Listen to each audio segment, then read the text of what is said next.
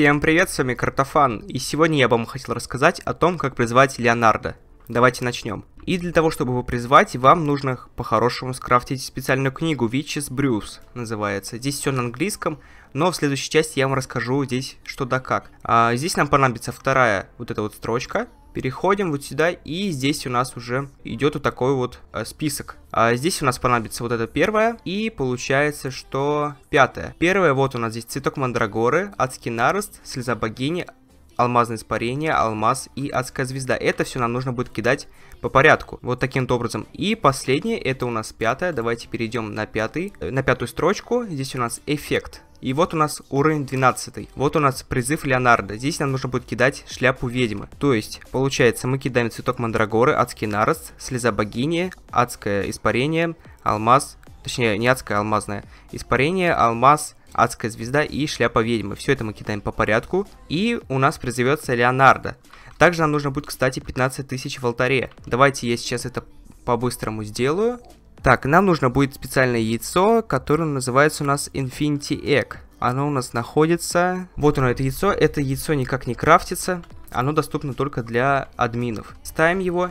И вот у нас получается уже не 10 тысяч, а 106 тысяч. Дальше. А, призывать мы его сначала не будем, потому что нам нужно будет сделать специальную зельку. А, потому что а если вы будете призывать на сервер, то, скорее всего, у вас не будет работать специальное заклинание, которое не написано в символогии, называется Авада Кедавра. А давайте сейчас вам покажу, как оно делается, и это заклинание будет убивать вообще любое живое существо.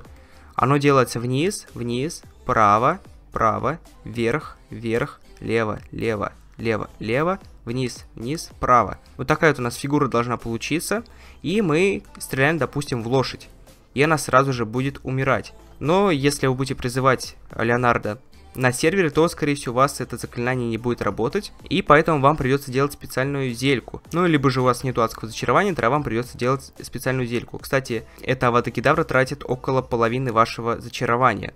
А эта зелька у нас крафтится из 15 ингредиентов. Вы можете не удивляться, потому что а, потом понадобится для следующих зелек, которые вы будете сами уже делать, примерно такое же количество ингредиентов. А нам нужен будет цветок мандрагоры, адский нарост, слеза богини, светящаяся пыль, стержень нефрита, красная пыль, обсидиан, лед, древесный прах, какао-бобы, тонкий шелк, цветок белодонны, лазурит, эндерняк и шерсть летучей мыши. Все это вам нужно где-то будет около 5 штучек. Должно хватить 5 зелек, а, но может и больше, а может и меньше, как вам, смотря, повезет, как вы будете ими пользоваться. Эти зелья будут наносить большой урон демонам. То есть, если вы будете кидать в себя, то вам будет наноситься маленький урон, но э, довольно-таки хороший урон демонам. Эта зелька также, она, можно сказать, что не описывается, а именно эффекты все эти описываются здесь. И если вы изучите эту книгу поподробнее, то вы поймете примерно, что да, как здесь что делает. А эти зельки все крафтиться будут в этом большом котле. И кидаем по порядку все наши ингредиенты. Цветок мандрагоры, адский нарост, слеза богини, светящаяся пыль, стержень нефрита, красная пыль, обсидиан, лед, древесный прах, какао-бобы, тонкий шелк, цветок белодонны, лазурит, эндерняк и шерсть летучей мыши. А здесь у нас ничто не будет делаться, нам нужно будет собрать все это дело пузырьком.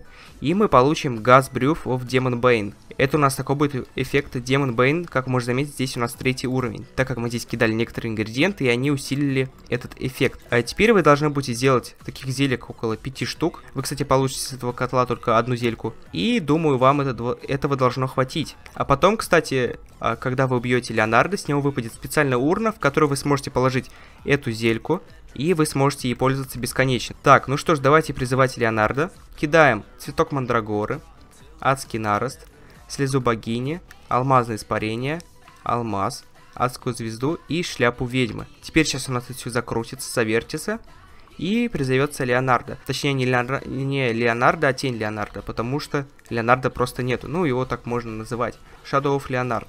Изначально, когда он появится, он будет не агрессивный, и будет просто ходить по вашей территории. Вот, чтобы он стал агрессивным, нужно будет его ударить. И тогда он станет агрессивным, будет создавать различных духов. Вот, и некоторые из этих духов убиваются просто мечом, некоторые просто огнем, а некоторые убиваются именно вот этим вот специальным газбрюфу в Демон Бейн. А, я, наверное, не буду пользоваться водокидаврой, потому что, скорее всего, у вас она запрещена, и я вам покажу просто, как его убивать правильным способом. Не знаю, давайте броню себе оденем, что ли, потому что... Или нет, давайте все-таки в креативе это сделаем, потому что здесь меча будет очень удобно его убивать. Еще что пойдет не по плану, и, в общем-то, это будет очень плохо.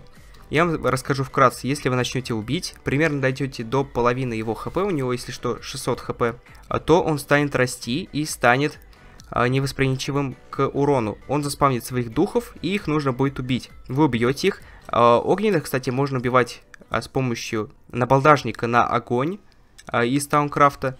Это очень удобно, если, конечно, у нас он у вас есть. А так вы можете, например, мечом на заговор огня. Дальше вы кидаете в него эти зельки. А, давайте кинем эту зельку, например, в него. И вот, как можно заметить, начинается вот такой вот газ здесь распространяться. И он будет подбиваться. Так, давайте его попробуем убить. Где-то на половине его здоровья он начнет расти. Вот, но у меня он не вырастет, потому что он как бы будет не загрен.